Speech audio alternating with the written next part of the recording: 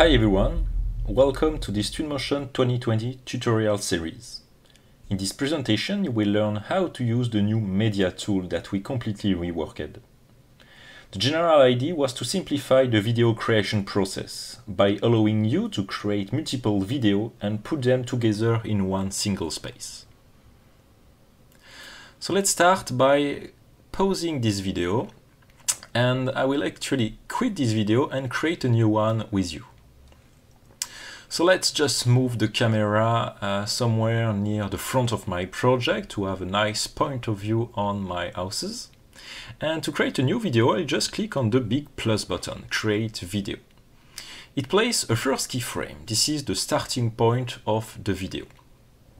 Then in Twinmotion, we have added a few texts uh, that help you understand what you need to do. So here, move in the project and click here on the small plus.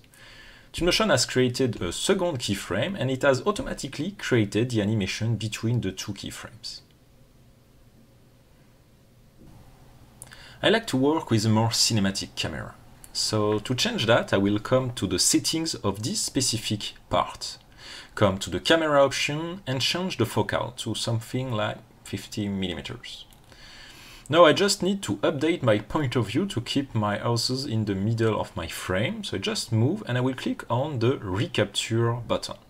Same thing on my second keyframe. As you can see here, my project is not completely in focus. So just moving the camera and again pressing the recapture button. Now my shot is fine. I can of course create any number of keyframes. So I can keep my camera moving and click on the small plus button and here I have three keyframes set up. Now if I want to create a new part, let me actually choose a completely different point of view, somewhere over here, uh, from a top view for example. Here is the new video part button that will create a new keyframe in a separate part. Same thing here, just moving my camera, clicking on the small plus button, and again, here I've created a second part. Now I have two parts in this specific movie. What I can do is collapse my part in cards.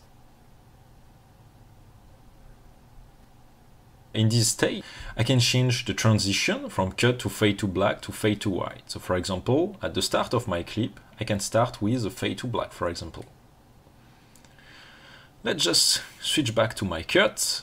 Here with the grip, you can also move the different part and reorganize your animation.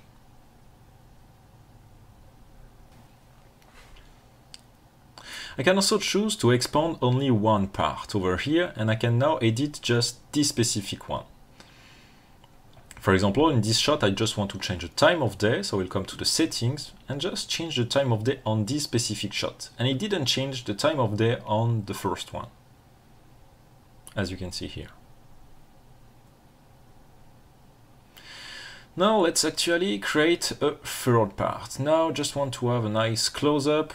Uh, can move the camera on the parking lot and have a close-up on the metal wire, metal cable that we have here. So I'll just click on the plus button. This will create again a new part.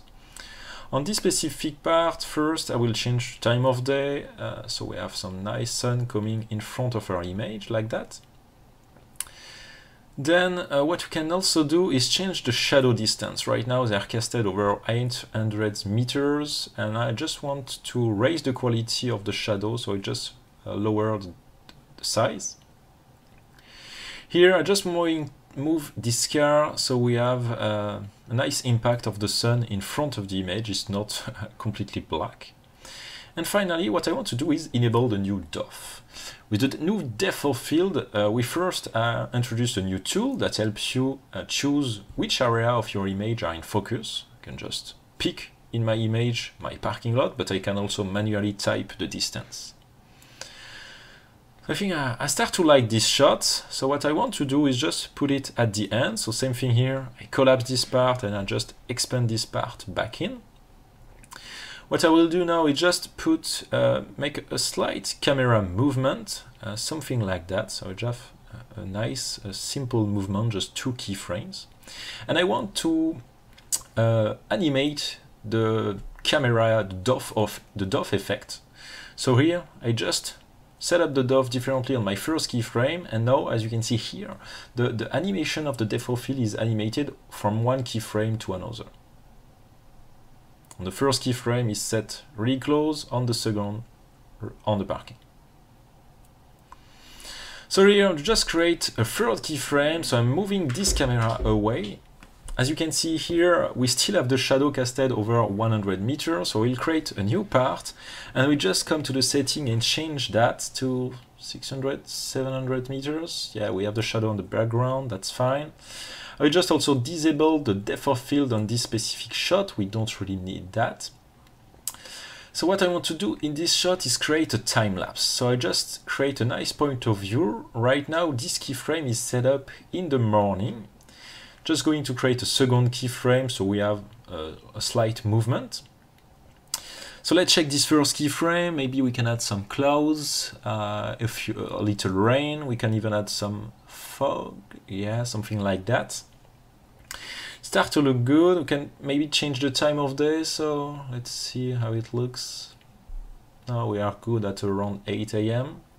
And in the second keyframe, what I will do is same thing here. I will change the time of day, but now I will set in the sunset. Yeah, we have the nice sunset with the new physical sky of Twinmotion 2020.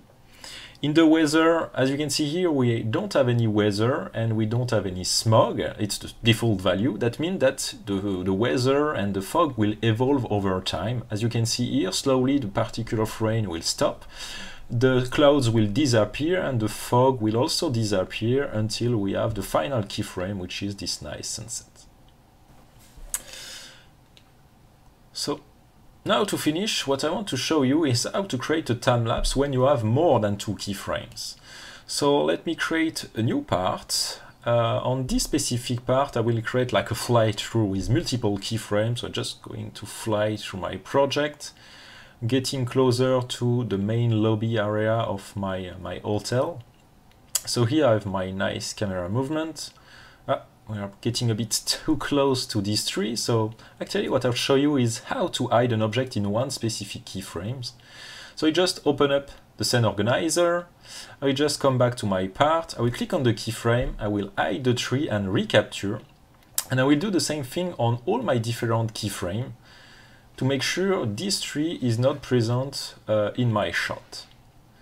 So here I've just edited my different part and now my camera movement is nice and it doesn't collide with any vegetation. And now all my keyframes are set up at sunset at like 8.30.